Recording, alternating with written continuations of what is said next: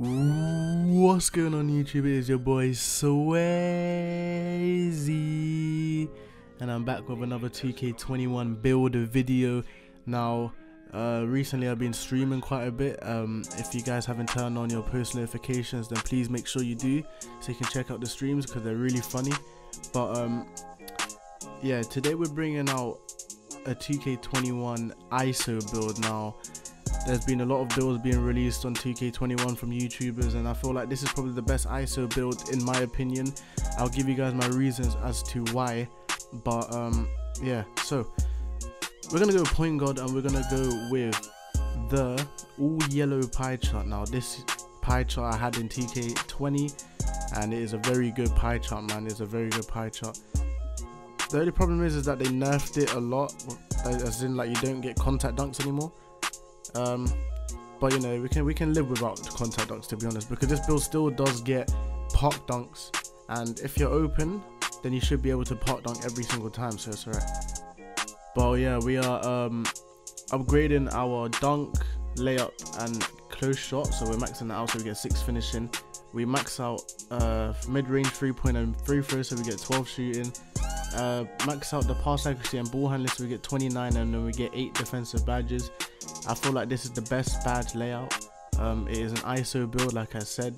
So you need to be able to do everything, okay, guys? You need to be able to defend, shoot, dunk, do everything possible, alright? So uh, this is an alternative way of doing it. You can get extra shooting badges by lowering the playmaking. If you don't feel like you need 29 playmaking, you can always lower the pass accuracy and then put it on shooting or whatever you want. But the body type now, now it's up completely up to you. You can choose anything you want, but I went with compact because it's just the easiest one. I feel like it's the best body type as well. Now a lot of people choose six seven here. Okay, guys. I don't know why people choose six seven. In my opinion, the driving layup drops down by nine. The shooting gets a lot worse because if you want to do what I want to do, the wingspan, then your shooting becomes a lot worse and you can't shoot under 73 point apparently according to Mike Wang. So I went with 6 foot 6, 180 pounds, so you can still see how quick I am. And I went with max wingspan. Now, max wingspan gives me the extra drive and dunk. It lowers my three pointer down a bit and my ball handling down a bit, but the defending goes up a lot and uh, the driving dunk goes up as well, which is important. Now, I still have a 71 three pointer, which means I can still shoot consistently Obviously, it depends on Mike Wang. It depends on on the game if we can shoot or not with a 71 three pointer. But even if I can't, at 99, I'm still gonna get a 75 three pointer, which is good enough. Okay, and as you can see, it's a slashing playmaker, but it's more or less a playmaker than a slashing playmaker because I won't be able to dunk anyway um, over people. So yeah, so we're gonna test the build at 99.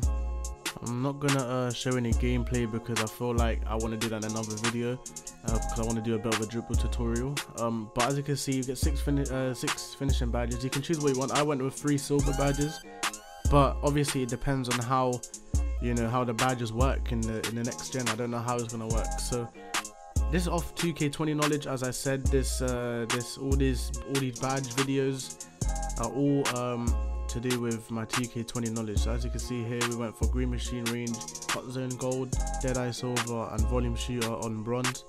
Uh, nine, 29 playmaking. So we went with uh, Quick First Step, we went with Handles for Days, Space Creator, Lob City Passer, Bailout, Ankle Breaker. Uh, we have 9 left, we went with Floor General, of course.